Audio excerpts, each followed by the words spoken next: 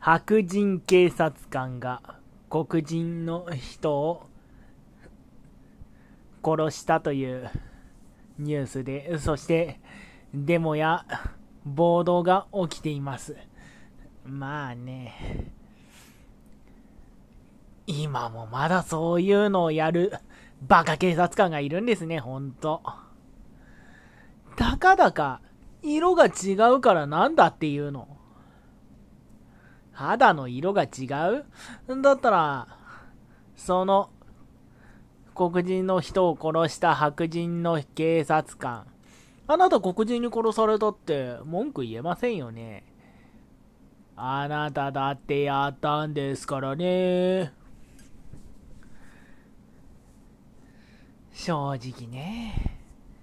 肌の色が違うから、なんだって言うんですか？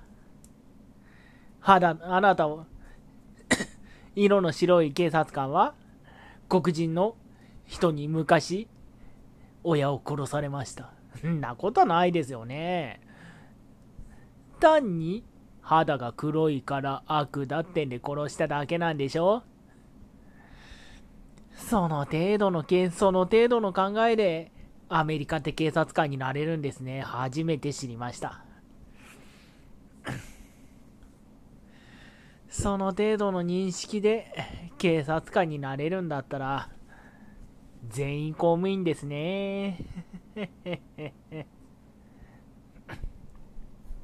ほんと、暴動が起きても仕方がないですよ、これは。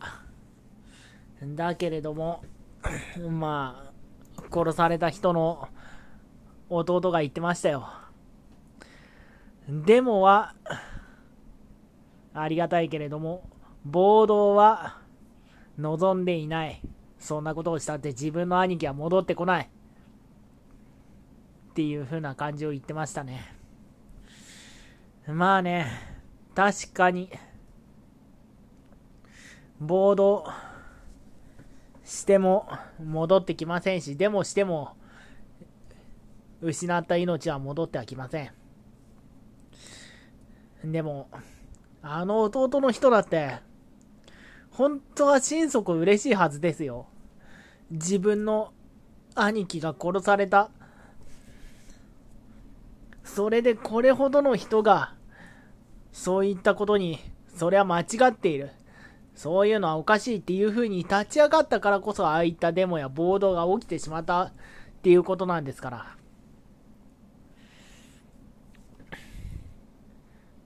本当のこと言ったら、多分、まあ、ありがとうとか、自分の兄のために、そこまでしてくれてありがとうっていうのは、まあ、思ってるとは思いますけれども、それを押し殺して、まあ、暴動は兄貴は望んでいない。っ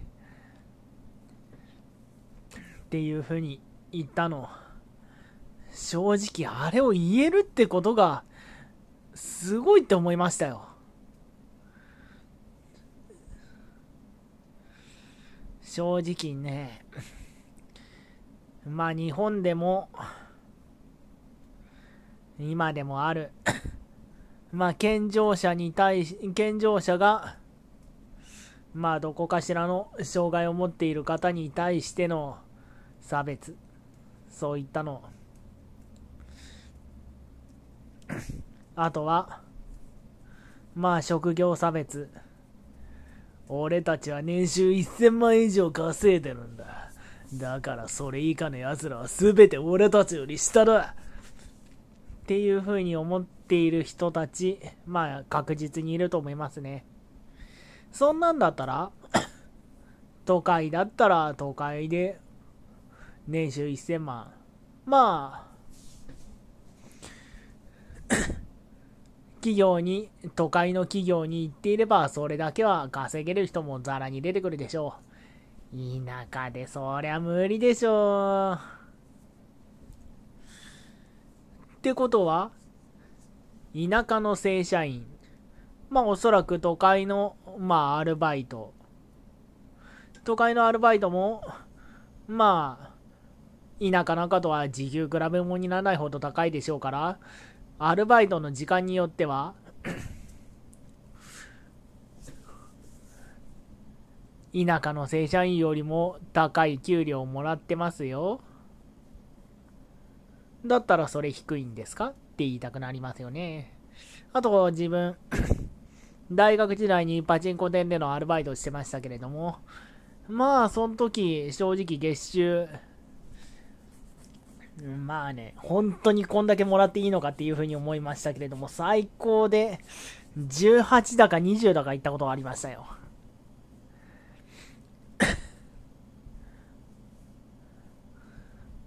だったら、そのぐらい稼いでますよ。それぐらいか、それ以前稼いで、それよりも少ない人は、みんな自分より下ですか？うん、なわけないですよね。単に、時給が高いところに、偶然入ったっていうだけの話です。それと同じですよ。結局は人を見下したって、自分自身の心がすさんでいくことに変わりはないですからね。早くそれに気づいてください。